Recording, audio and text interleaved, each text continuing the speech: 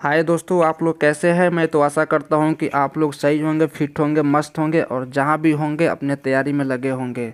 तो मैंने इससे पहले बताया था कि आप लोग का जो बिहार पुलिस डायल 112 के जो अठहत्तर सौ आठ पदों की जो स्वीकृति मिली हुई है, उसकी बैठक हुई थी और ये गृह विभाग के द्वारा बैठक हुई थी, जो गृह विभाग द्वारा मांगा गया था कि एक हफ़्ता के अंदर सूची तैयार करने के लिए पूरी जिला से। तो वो जिला से सूची आ चुकी है। अठहत्तर सौ आठ स्वीकृत पद की सूची, जिसमें किस पद के लिए कितना सीट है, वो हम आप लोग को बता रहे हैं और आप लोग तैयार रहिएगा इस पद को हासिल करने के लिए।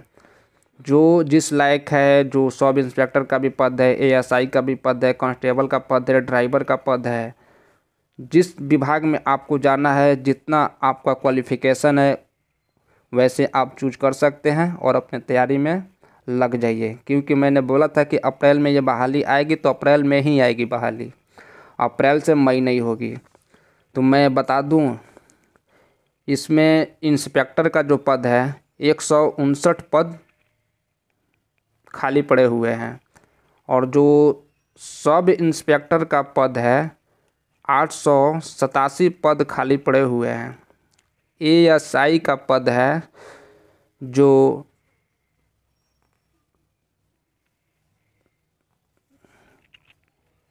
पाँच सौ चौरानवे पद खाली पड़े हुए हैं। और कांस्टेबल, जो सबसे बड़ी संख्या में यही वैकेंसी आती है, जो कांस्टेबल सिपाही बोला जाता है तो कांस्टेबल का पद आपका पाँच हज़ार आठ सौ छप्पन पद खाली पड़े हुए हैं। तो मैं आशा करता हूँ कि आप लोग तैयारी कर रहे होंगे। और ये जो वैकेंसी है, तीन चक्रों, यानी तीन बार में ये वैकेंसी को पूरा करेगी। तो आप लोग तैयार रहिए अपने अपने पद के लिए अपने अपने तैयारी में लग जाइए, पढ़ाई पे पूरा फोकस कीजिए, पढ़ाई के साथ साथ फ़िज़िकल पे भी फोकस किए रही बात मेरिट की तो अभी कोई कन्फर्म नहीं हुआ है कि मेरिट फ़िज़िकल पे बनेगी या रिटर्न पे। जैसे कन्फर्म हो जाएगी तो मैं आपको बता दूँगा। और मैं मैं तो ये बोल दूँ कि अभी कन्फर्म नहीं हुआ है तो आप लोग रिटर्न क्वालिफाई और फ़िज़िकल बेस को बना के मेरिट वाला बेस तैयारी कीजिए। क्योंकि अभी तो कंफर्म नहीं है तो आप लोग कंफर्म मानिए कि आपका जो मेरिट है अभी फ़िज़िकल बेस पे ही बनेगी। क्योंकि अभी कोई कंफर्म नहीं है। जब कंफर्म हो जाएगा तो हम आपको बता देंगे। तो आप लोग अपने तैयारी में लग जाइए, क्योंकि कांस्टेबल का पद बहुत जल्द आ रही है। मैं बोला था, अप्रैल में आएगी तो अप्रैल में हर हाल में ये वैकेंसी आएगी।